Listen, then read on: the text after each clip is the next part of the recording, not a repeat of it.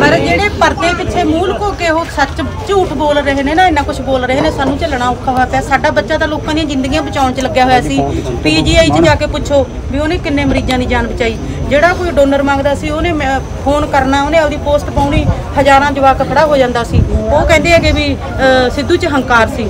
ਜਿਹੜੇ ਬੰਦੇ ਨੇ ਆਪਦੀ ਨਾ ਜ਼ਮੀਨ ਤੋਂ ਉੱਠ ਕੇ ਇੱਥੇ ਤੱਕ ਆਪਦੀ ਆਪ ਤਰੱਕੀ ਕੀਤੀ ਹੋਵੇ, ਉਹਦੇ 'ਚ ਹੰਕਾਰ ਹੁੰਦਾ ਹੈ।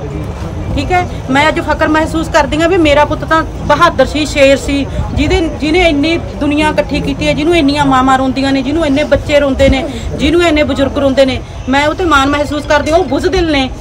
ਬੁਜ਼ਦਿਲ ਨੇ ਜਿਹੜੇ ਮੂੰਹ ਲੁਕੋ ਕੇ ਫੇਸਬੁੱਕਾਂ ਉੱਤੇ ਭਕਾਈਆਂ ਮਾਰਦੇ ਨੇ। ਇਹ ਕੋਰਾ ਝੂਠ ਬੋਲ ਰਹੇ ਨੇ। ਸਿੱਧੂ ਦੀ ਛਵੀ ਖਰਾਬ ਕਰਨ ਵਾਸਤੇ, ਪਰ ਸਿੱਧੂ ਦੀ ਛਵੀ ਤਾਂ 2 ਮਹੀਨੇ ਹੋ ਗਏ ਸਾਨੂੰ ਪਤਾ ਹੀ ਸਾਨੂੰ ਵੀ ਪਤਾ ਲੱਗ ਰਿਹਾ, ਸਾਨੂੰ ਵੀ ਪਤਾ ਲੱਗ ਰਿਹਾ ਵੀ ਉਹਦੀ ਛਵੀ ਕੀ ਸੀ। ਉਹ ਤਾਂ ਇੱਕ ਸ਼ੇਰ ਮਾਂ ਦਾ ਸ਼ੇਰ ਪੁੱਤ ਸੀ, ਸਾਨੂੰ ਮਾਣ ਮਹਿਸੂਸ ਆ ਉਹਦੇ ਤੇ। ਠੀਕ ਹੈ? ਸਾਨੂੰ ਸਾਡੀ ਮੇਰੀ ਕੁੱਖ ਨੂੰ ਆ ਆ ਕੇ ਰੋਜ਼ ਅਗਲੇ ਐਂ ਕਹਿੰਦੇ ਨੇ ਵੀ ਹਾਂ ਤੁਹਾਡੀ ਕੁੱਖ ਸੁਲੱਖਣੀਆਂ ਸਲਾਮਾ ਕਰਦੇ ਨੇ ਪਰ ਉਹਨਾਂ ਦੀਆਂ ਮਾਵਾਂ ਦੀ ਕੁੱਖ ਨੂੰ ਲੋਕ ਗਾਲਾਂ ਦੇ ਰਹੇ ਨੇ।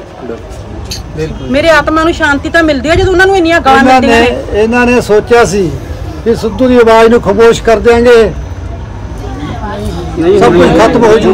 ਪਰ ਮੈਂ ਦੱਸਣਾ ਚਾਹੁੰਦਾ ਸਿੱਧੂ ਨੂੰ ਸਿੱਧੂ ਨੂੰ ਜਿਉਂਦੇ ਨੂੰ 1 ਮਿਲੀਅਨ ਬੰਦਾ ਫੋਲੋ ਕਰਦਾ ਸੀ। ਅੱਜ ਉਹਨੂੰ 16 ਮਿਲੀਅਨ ਤੋਂ ਉੱਪਰ ਫੋਲੋ ਕਰਦੇ ਨੇ। ਸਿੱਧੂ ਦੀ ਸੋਚ ਅੱਗੇ ਨੂੰ ਦੁੱਗਣੀ ਹੋਈ ਹੈ। ਅਗਲੇ ਸਮੇਂ ਤੁਹਾਨੂੰ ਆਉਣ ਤੇ ਪਤਾ ਲੱਗ ਜੂਗਾ ਵੀ ਸਿੱਧੂ ਕੀ ਚੀਜ਼ ਸੀ। ਬਾਪੂ ਨਾਲ ਆ ਤੇਰੇ ਕਾਲ ਕਰਦੀ ਸਾਨੂੰ ਇੱਕ ਵਾਰੀ ਬਸ ਜੋ ਕਹੇਗਾ ਤੇਰੇ ਪਿੱਛੇ ਚੱਲਾਂਗੇ ਅਸੀਂ ਨਾਲ ਆ ਤੇਰੇ। ਬਾਪੂ ਜਮਾ ਨਾਲ ਆ। ਕੀ ਧਰਨਾ ਠੋਕਾਂਗੇ ਸਾਨੂੰ